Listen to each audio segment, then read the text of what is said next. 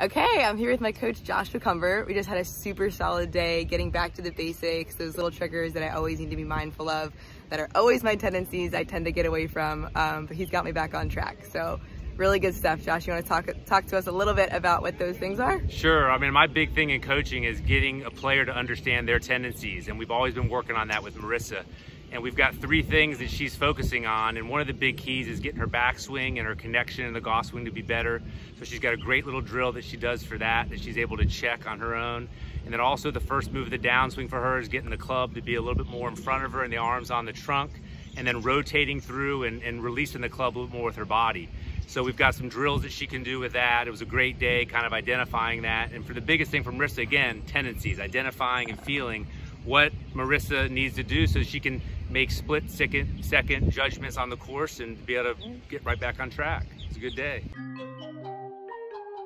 Like Merced, there's Andrea in the back. We're killing it. It's an absolute beautiful day out here.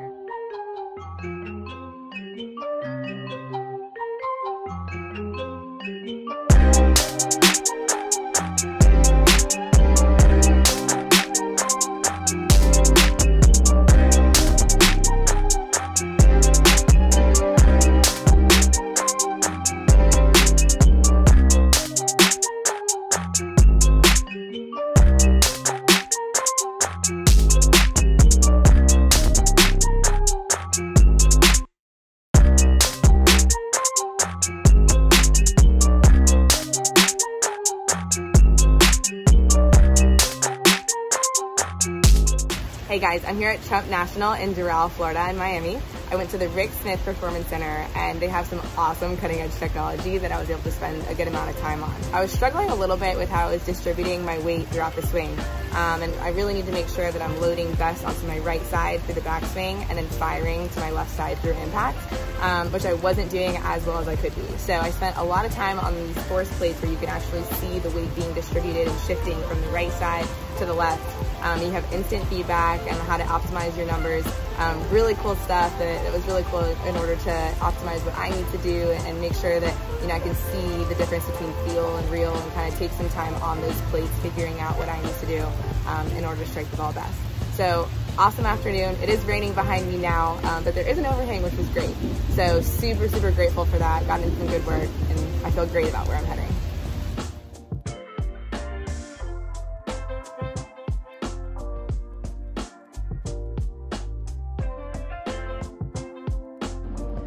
So I'm here today at Hollywood Beach Golf Course. They have an awesome full swing simulator at their facility. So I was able to really take advantage of the rainy day and stay productive uh, despite the rain um, and get in some really solid work after I went over to Doral yesterday and learned about what I needed to do to make sure that I was loading my weight best onto my right side through the backswing and then through impact transferring it over to the left side. Um, so my swing speed went up, felt super solid hitting the golf ball, um, and now it's not raining quite hard enough uh, to prevent me from going on the course. So I'm gonna go back, take it out um, on the course and see how it goes in play.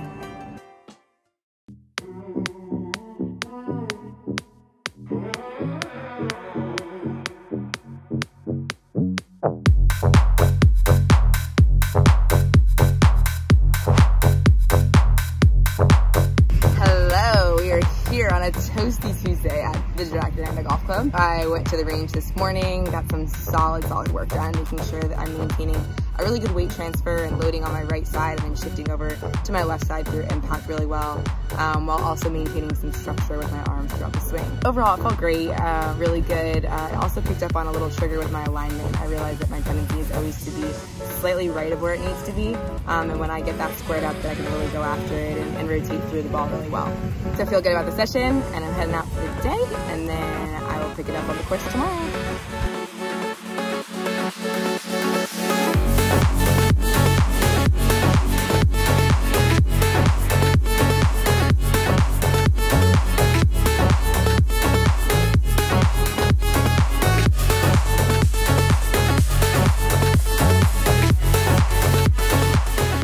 That I've done good mechanical work, I need to get more into the athletic, artistic side of my brain, which is the right side of my brain, and making sure that I'm taking a deep breath behind the ball and visualizing everything before I walk in.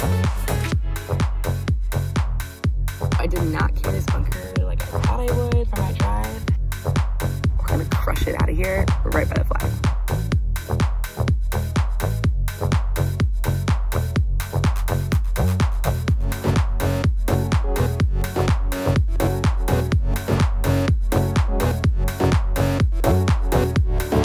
So I hit a good bunker shot out. I didn't stick it quite as close as I had envisioned, but you know, you gotta pump yourself up for that. So I did hit a good shot, which I was happy with. Tipped it up close, safe bunker. So it was definitely a solid week here in sunny South Florida before we head over to the Maryland Open. Um, I definitely enjoyed my time at Doral. I thought that was very, very valuable um, and made the adjustments that I could over the course of the week before I had to get back into competition mode um, to be ready to compete in Maryland. So definitely will be a little bit colder weather uh, and some rain, but I am a Clemson Tiger and Coach Sweeney always taught me the harder it gets, the better we play. So with that mindset and after my phone call with my coach Martha Cobo and the assistance of my sponsors, Murray Street Capital Advisors and Celsius, we're ready to go.